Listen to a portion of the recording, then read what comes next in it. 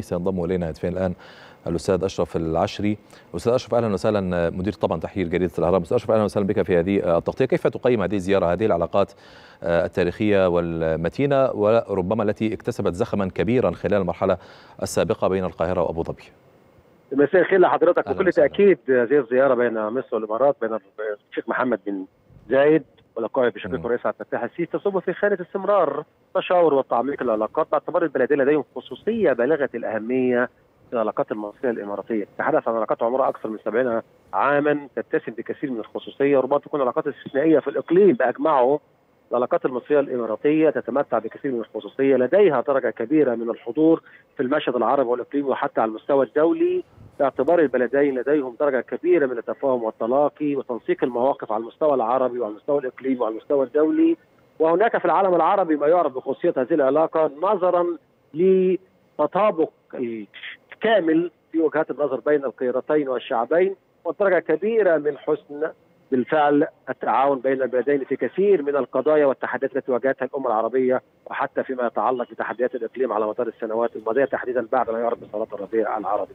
وبالتالي هذه الزيارة من شانها أن تساهم بشكل كبير في تعميق العلاقات أن تفتح الأفق نحو تشاور بين الزعيمين لطبيعة المرحلة في إقليم الشرق الأوسط وفي ضوء المتغيرات من قضايا عديدة بالغه الأهمية أعتقد أن هناك بالفعل خطى سريعة عربية نحو عودة سوريا للجامعه العربية. وهناك موقف مصري إماراتي موحد بدوره فتح الباب أمام سوريا للعودة للجامعه العربية، الوضع في ليبيا أعتقد المصري الإماراتي هذان الموقفان يتماثلان بدرجة كبيرة منذ اللحظات الأولى لتطورات الأوضاع في ليبيا حتى على المستوى فيما يتعلق ب قضايا الإقليم الأخرى وأيضا تطورات الأوضاع في اليمن في ضوء المصالحه السعودية الإماراتية الاخيره السعودية الإيرانية الأخيرة وأيضا الجهود الإماراتية مع السعودية مع سلطنة عمان لفتح افق جديد في معالجة الأزمة اليمنية وتحقيق المصالحة الكاملة خلال الأسابيع القادمة والإفراج غدا عن أكبر عدد من السجناء أو بين البلدين أو المعتقلين. بكل التأكيد هذه قضايا ملحة وضرورية يعيشها الإقليم حاليا ويرى الجانبان أنها فرصة لإمكانية أن يكون هناك رغبة مصريه إماراتية لتسجيل كثير من التحديات والعقبات أمام فتح افق جديد لمسيره العمل العربي على المستوى طيب. الثنائي بين البلدين وعلى مستوى العمل العربي العربي. باعتبار أن المرحلة القادمة خلال الاسابيع القادمة ربما الأسبوع القادم ويوم الجمعة القادم في الرياض اجتماع الوزارة الخارجيه الخليجيين والعرب مصر والأردن والعراق وأيضا بعد العيد سيكون هناك نشاط عربي على مستوى القادة والزعماء. كل هذا يصب في خانة أن هناك أفق جديد وتطورات بالغة الأهمية خلال الأيام والأسابيع القادمة في الإقليم العربي وحتى على المستوى الإقليمي في الشرق الأوسط.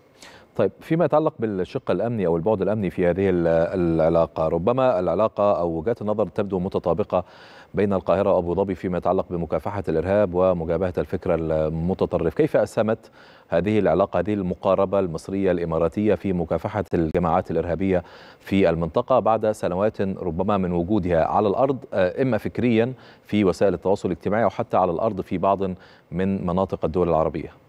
من حسن الطالع أن الإمارات الموقف الاماراتي والموقف المصري منذ عام 2011 مرورا حتى هذه اللحظة يتمتع بكثير من الخصوصية فيما يتعلق بمكافحه الارهاب، لا تنسى أن معاناة مصر في الفترة الأخيرة قبل أن تنجح ببسالة وقوة في السيطره على هذه المجاميع الإرهابية وتنجح في فرض سيادة الأمن والاستقرار في مصر، كانت الإمارات أيضا تشكل غطاء أو حاضنة داعمة لمصر وضرورة تحذر من خطر الجماعات الإرهابية وتطورات من قبل هذه الجماعات المحسوبة على الإخوان الإرهابية وغيرها من التنظيمات في المنطقة وفي الإقليم والإمارات خاضت حربا مع دول الخليج ومع مصر لمكافحه الإرهاب عبر التحالف العربي والتحالف الدولي في السنوات الأخيرة. وبالتالي هناك درجة كبيرة من التماثل في وجهات النظر والتقديرات على مستوى القيادي ومستوى أيضا مؤسسة الدولة في البلدين بأن هناك رغبة كانت ملحة ومشتركة لضرورة أن يكون هناك مجابهه حرب طويلة زاخرة بكثير من التضحيات نحو مكافحة الإرهاب وأعتقد الجانبان رسم خطوط فاصلة على مستوى العلاقات الثنائية بين البلدين وحتى على مستوى دول الإقليم في منطقة الشرق الأوسط وخاصة في الإقليم العربي. هذا الأمر انسحب على كثير من مناطق الإقليم العربي وجدنا الحضور المصري الإماراتي في الأزمة الليبية، في الأزمة في اليمن، في الأزمة في سوريا من خلال جهد تنسيق الجهود مع المجتمع الدولي مع دول الإقليم باعتبار أن البلدان شكلها رأس حربة في مكافحة الإرهاب ونجح بالفعل في مجابهه كثير من هذه التحديات وآخرها التحدي المصري ولله الحمد التي سوف تستعد مصر في الأسابيع القادمة للاحتفال في سيناء بتطهيرها بالكامل من كافه بؤر الإرهاب؟ على المستوى الثنائي البلدان لديهم درجه استراتيجيه فيما يتعلق بالتعاطي مع مكافحه الإرهاب حتى فيما يتعلق بالإرهاب الإلكتروني وغيرها من هذه الوسائل التي لعبت دورا سيئا في توفير الغطاء والحاضنة لبعض الجماعات الإرهابية. في الآونة الأخيرة تم تعديل وجهات آليات التعاطي من قبل مصر والإمارات عبر التعاون المشترك وتم بالفعل سحر كثير من هذه التنظيمات وكثير أيضا وتضييق الخناق على هذه الكتائب الإرهابية. بالإضافة لأن هناك عامل رئيسي البلدان هما الأكثر في العالم العربي. في الشرق الاوسط اللذان اجري مناورات عسكرية مشتركة وأمنية على كافة المستويات.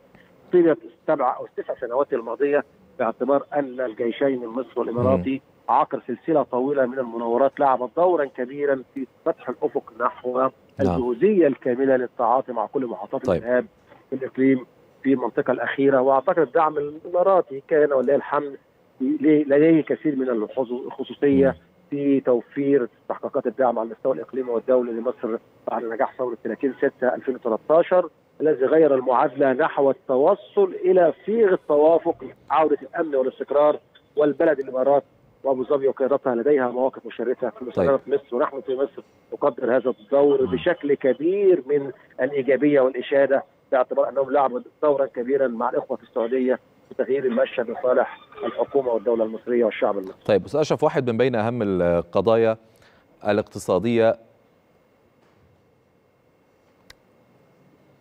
تفضل أستاذ أشرف اذا واحد عفوا واحد من بين أهم الموضوعات آه، أو أكثرها وضوحا ربما بين القاهرة وأبو ظبي ما يتعلق بالقطاع الاقتصادي والمحور الاقتصادي بينهما. هناك عشرات المليارات ربما. آه، بعض الأرقام آه، تقدر هذه الاستثمارات الإماراتية ب 17 مليار دولار بين القاهرة وأبو ظبي.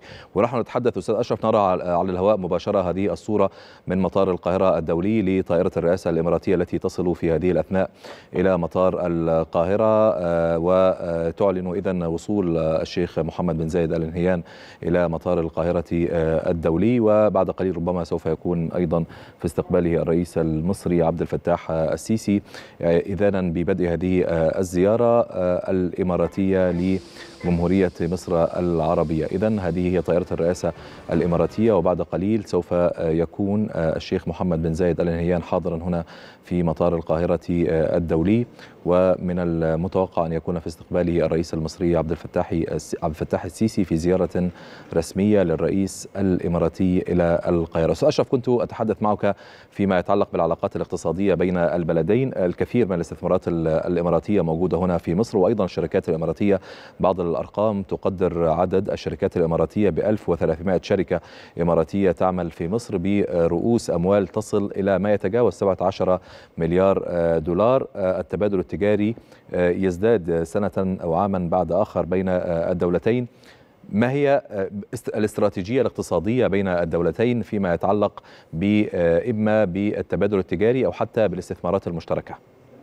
بكل تأكيد كان هناك منذ اللحظة الأولى بعد نجاح ثورة 2013 درجة كبيرة مع طلع الرئيس عبد الفتاح السيسي في عام 2014 مقالة الأمور في مصر ونجح بكل تأكيد عودة مصر إلى الصف العربي وإلى الحاضنة وعودة الدور المصري بكثير من الزخم والحيوية والنشاط المجالات أو في المجال والمحيط العربي وحتى على المستوى الإقليمي وحتى وصلنا إلى هذه المكانة الآن ولله الحمد على المستوى الدولي.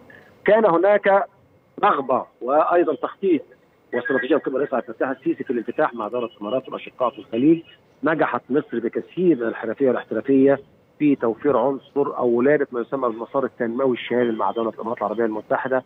ومن هنا انطلقت العلاقات المصرية الاقتصادية الإماراتية نحو أفق أرحب في توفير حظوظ كثيرة من النجاح في إقامة مشروعات استثمارية باعتبار الإمارات حتى هذه اللحظة في ضوء البيانات المصرية والإماراتية وحتى بيانات البنك الدولي تحتل الإمارات المرتبة الأولى في حجم الاستثمارات داخل مصر في السنوات الأخيرة ولديها حظوظ كبيرة من فرص النجاح المشروعات التنموية في كافة المجالات وأبرزها ونجاحها أيضا فيما يتعلق بالتعاطي في مجال النقل البحري طيب. والمواني وأيضا خطوط اسمح لي يا أستاذ أشرف. اذا شكرا جزيلا لك يا أستاذ أشرف العشري مدير تحرير جريدة الأهرام.